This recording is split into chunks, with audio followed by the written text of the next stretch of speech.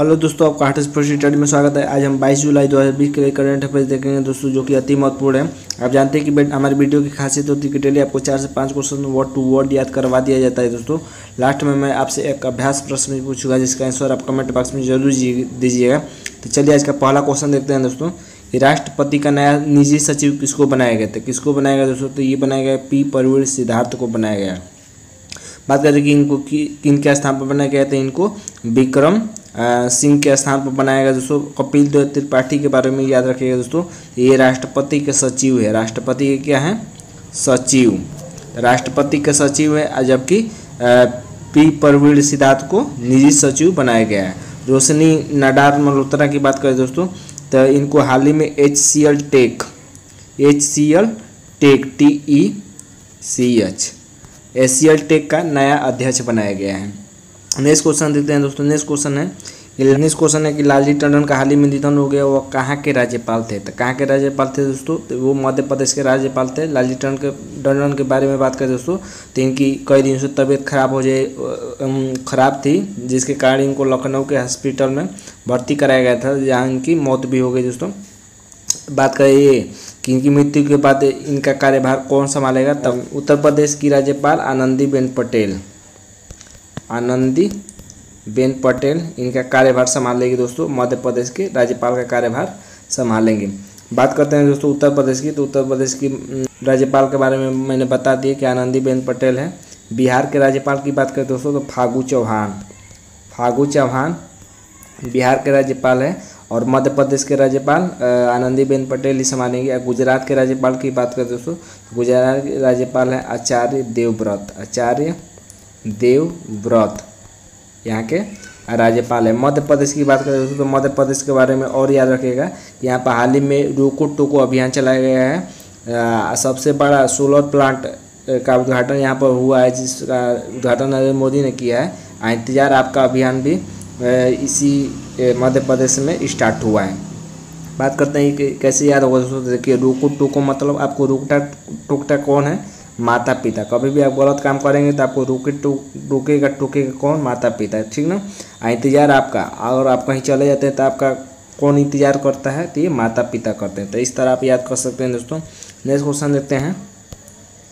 कि भारत के पहले सार्वजनिक ईवी चार्जिंग, यानी ईवी चार्जिंग की बात करें तो इलेक्ट्रिक वाहन।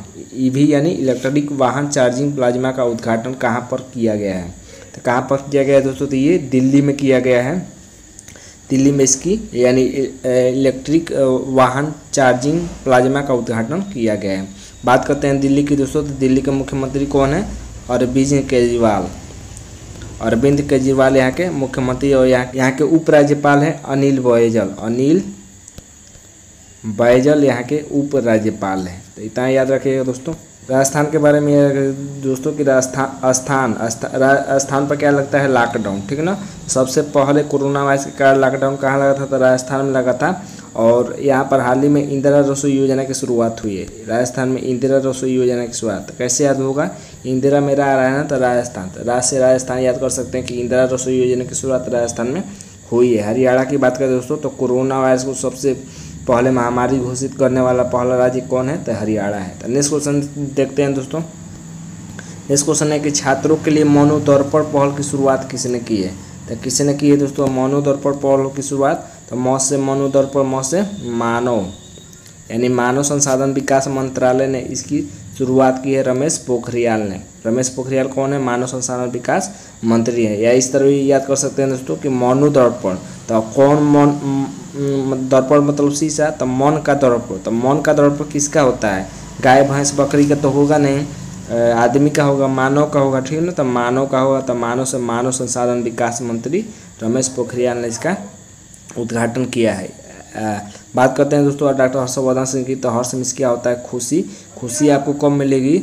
जब आपका स्वास्थ्य अच्छा रहेगा, तब। तो स्वास्थ्य मंत्री कौन है? डॉक्टर हर्षवर्धन सिंह है। नरेंद्र सिंह तोमर में रेन आ रहा है ना दोस्तों तो रेन मिस क्या होता है वर्षा। वर्षा किसके लिए ज़रूरत होती है? कृषि के लिए। तो कृषि मंत्री कौन है? नरेंद्र सिंह। तोमर है। राजीव महसी की बात करें दोस्तों तो ये भारत के कए गए सी ए जी कए गए ठीक है ना? ये भी याद रखिएगा दोस्तों कि ये मनोदर पर पहल की शुरुआत की गई है तो इसके तहत छात्रों के मानसिक स्वास्थ्य की देखभाल के लिए शुरू की गई है। नेक्स्ट क्वेश्चन देखते हैं दोस्तों। नेक्स्ट क्वेश्चन है कि जोरम जोरम मेगा फ़ूड का उद्घाटन किसने किया था? किसने किया दोस्तों? तो ये किया है हर हर सिरमत कौर बादल ने किया है। बात करते हैं दोस्तों हर सिरमत कौर बादल कौन है? तो ये केंद्रीय खाद्य प्रसंस्करण उद्योग मंत्री हैं। आ नाम से लग रहा है दोस्तों कि जोरम जोरम यानी मिजोरम यानी इसकी शुरुआत कहाँ हुई है? तो मिजोरम में हुई है। तो बात करते हैं दोस्तों मिजोरम की। तो मिजोरम के मुख्यमंत्री कौन है? तो मिजोरम के मुख्यमंत्री है पू जोरम थंगा। यहाँ के रा, राज्यपाल कौन है? तो पी एस श्रीधरम पिल्लई यहाँ के राज्यपाल है। सर्वानंद सोनेवाल की बात करें दोस्तों तो ये असम के मुख्यमंत्री है। असम के मुख्यमंत्री हैं। तो नेक्स्ट क्वेश्चन देखते हैं दोस्तों। नेक्स्ट क्वेश्चन है कि टी ट्वेंटी विश्व कप दो कोविड नाइन्टीन के कारण कब तक स्थगित कर दिया गया है? यानी आईसीसी द्वारा जो टी ट्वेंटी विश्व कप होता है, उसको कब तक स्थगित कर दिया गया है? तो 2022 तक स्थगित कर दिया गया दोस्तों। ये अक्टूबर, नवंबर 2021 में होने वाला था, लेकिन इसको स्थगित करके 2022 में कर दिया गया है। बात करते हैं दोस्तों आईसीसी की। तो आईसीसी का मुख्यालय कहाँ है? तो आईसीसी का मुख्यालय याद रखिएगा दुबई में। दुबई जो कि संयुक्त अरब अमीरात यानी यू ए ई में पड़ता है, वहाँ पर इसका मुख्यालय है। और आईसीसी के मुख्य कार्यकारी अधिकारी कौन है दोस्तों? तो मनु साहनी। मनु साहनी आईसीसी के मुख्य कार्यकारी अधिकारी हैं। तो नेक्स्ट क्वेश्चन देखते हैं दोस्तों नेक्स्ट क्वेश्चन है कि मुख्यमंत्री घर घर राशन योजना की शुरुआत किसने की है? तो किसने की है दोस्तों? तो ये दिल्ली ने की है। दिल्ली ने इस योजना की शुरुआत की है। दिल्ली के उपराज्यपाल की बात करें तो कौन है? अनिल बैजल, यहाँ के उपराज्यपाल हैं। और मुख्यमंत्री कौन है? अरविंद केजरीवाल। बात करते हैं, याद कैसे होगा दोस्तों? तो देखिए मुख्यमंत्री घर घर राशन देंगे। जैसे मान लीजिए आप मुख्यमंत्री ने कह दिया कि इस दुकान से आपको राशन मिलेगा, तब तो कोई बड़ी बात नहीं है, कोई जाकर ले लेगा। लेकिन मुख्यमंत्री ने कहा है कि घर घर राशन योजना, यानी घर घर जाकर आपको राशन दिया जाएगा। तो ज़रूर किसी का दिल बड़ा होगा, तब ऐसा कहेगा कि जाकर आपको घर घर दिया जाएगा। ठीक है ना? तो ऐसे याद कर सकते हैं कि मुख्यमंत्री घर घर, यानी घर घर जाएगा, यानी उसका दिल बड़ा होगा। घर घर जाने जाएगा देने के लिए। इस तरह याद कर सकते हैं, ज़्यादा दिन तक याद रहेगा दोस्तों। बात करते हैं केरल की। तो केरल में सबसे पहले कोरोना वायरस का पहला मामला आया था प से पंजाब और प से पूर्ण कर्फ्यू कोरोना वायरस के कारण सबसे पहले पूर्ण कर्फ्यू किस राज्य में लगा था? तो ये पंजाब में लगा था। और त्रिपुरा की बात करते दोस्तों तो यहाँ पर हाल ही में एक टू खोलो, एक टू खेलो और एक टू पढ़ो योजना की शुरुआत हुई है। तो नेक्स्ट क्वेश्चन देखते हैं दोस्तों। नेक्स्ट क्वेश्चन है कि सूरज सूरज कदे मारदा नहीं, नामक पुस्तक को किसने लिखा है? तो किसने लिखा है दोस्तों? तो ये लिखा है बलदेव सिंह ने। बात करते हैं दोस्तों कि इस पुस्तक में किसका वर्णन किया गया है? तो इस पुस्तक में स्वतंत्रता सेनानी उधम सिंह। उधम सिंह के कई पहलू का वर्णन किया गया है दोस्तों इसमें। आ, ये पुस्तक कब लॉन्च की जाएगी? तो ये पुस्तक उधम सिंह के अस्वी अस्वी पुण्यतिथि जो कि 31 जुलाई 2020 को पढ़ेगा तो 31 जुलाई 2020 को इस पुस्तक को लॉन्च किया जाएगा। बात करते हैं, याद कैसे होगा दोस्तों? देखिए, सूरज है तो ये देवता तो है ही, पहली बात इनके पास बल ज़्यादा है, ठीक ना? गर्मियों के दिन में हालत ख़राब कर देते हैं। तो सूरज से याद रखेगा कि इसके, इनके पास बल है, और ये देवता है। क्या है? देवता है, कौदे कौदे यानी देवता है, ठीक ना? तो ये इन्होंने शुरुआत किए स्टार्ट किए बात करते हैं दोस्तों। फंक फंकी तो फंक फंक ने हाल ही में वुहान डायरी पुस्तक लिखी है, जहाँ से कोरोना वायरस की शुरुआत हुई थी। उर्जित पटेल जो कि भारत के पूर्व आरबीआई के पूर्व गवर्नर रह चुके हैं, दोस्तों सॉरी आरबीआई के पूर्व गवर्नर रह चुके हैं। इन्होंने हाल ही में overdraft saving the Indian saver पुस्तक लिखी है। और रस्की बांड की बात करते दोस्तों तो इन्होंने एक ए सांग ऑफ़ इंडिया पुस्तक लिखी है। तो नेक्स्ट क्वेश्चन देखते हैं, दोस्तों, नेक्स्ट क्वेश्चन है। कि पैंतालीसवीं इंडिया आइडियाज़ समिट 2020 की मेज़बानी कौन करेगा? तो कौन करेगा दोस्तों तो ये भारतीय व्यापार परिषद करेगा इसकी मेज़बानी। बात करते हैं दोस्तों इसकी। तो इसमें यूएसए यानी अमेरिका के विदेश मंत्री भी भाग लेंगे और भाषण देंगे। तो अमेरिका के विदेश मंत्री कौन है? तो माइक पोम्पियो। माइक पोपियो इसमें भाग लेंगे और भाषण भी देंगे दोस्तों। और इसमें बाद के प्रधानमंत्री नरेंद्र मोदी और यहाँ के, भारत के विदेश मंत्री एस जयशंकर। एस जयशंकर भी इस, इसमें हिस्सा लेंगे, ठीक ना?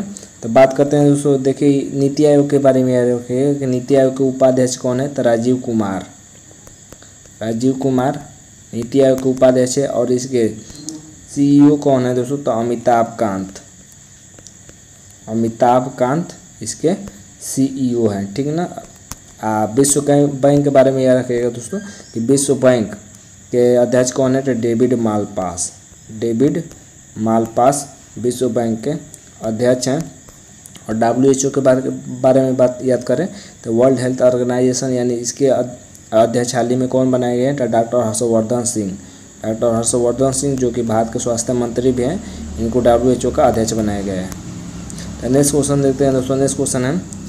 कि बारूदी सुरंग हटाने वाले उपकरणों को खरीद के लिए बी ई एम एल यानी भारत अर्थ मूवर्स लिमिटेड के साथ किसी ने समझौता किया था किसी ने किया है दोस्तों?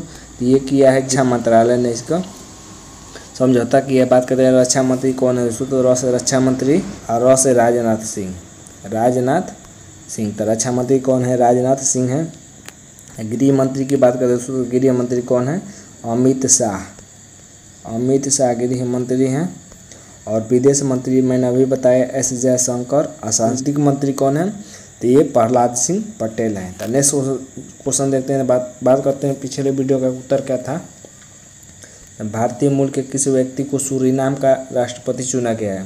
तो किसको चुना गया है? तो चंद्रिका प्रसाद संतोखी को चुना गया है। बात करते हैं आज के अभ्यास प्रश्न की। आज का अभ्यास प्रश्न है कि साई भर अभियान की शुरुआत किसी ने की है तो इसका आंसर आप कमेंट बॉक्स में ज़रूर दीजिएगा दोस्तों। अगर आपको ये वीडियो अच्छा लगा हो तो आप इस चैनल को सब्सक्राइब ज़रूर करें दोस्तों और लाइक शेयर करना ना भूलें। धन्यवाद दोस्तों।